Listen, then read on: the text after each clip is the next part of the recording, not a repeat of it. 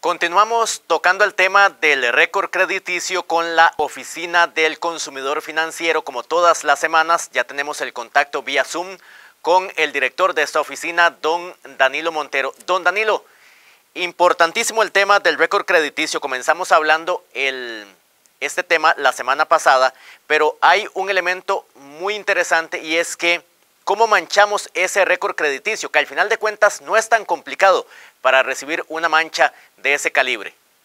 Eh, así es, Johan. Muy buenas tardes y saludos a todos los que nos siguen.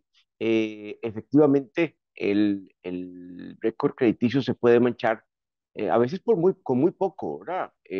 por ejemplo, cuando se nos atrasa el pago de la tarjeta de crédito, eh, peor aún, si se atrasa durante el año dos, tres veces, se nos va la fecha o anduvimos cortos de plata, ahí está quedando una marquita.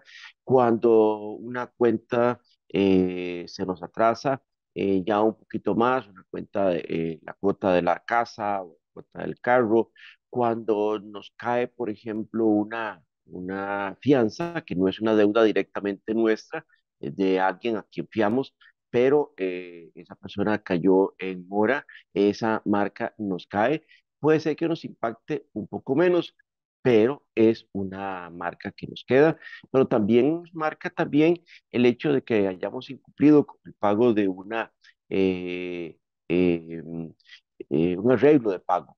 El hecho de que hubiéramos podido llegar a un arreglo de pago y no lo cumplimos, eso también nos afecta en el récord crediticio.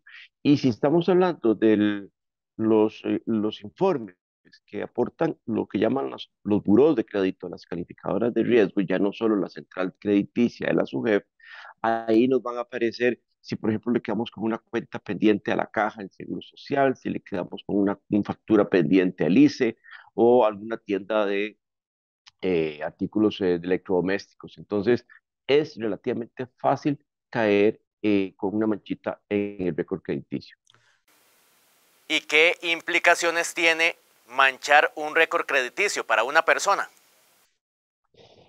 Es una marquita, es una marca que cuando otras entidades financieras lo revisen porque estamos solicitando un nuevo crédito, lo van a ver.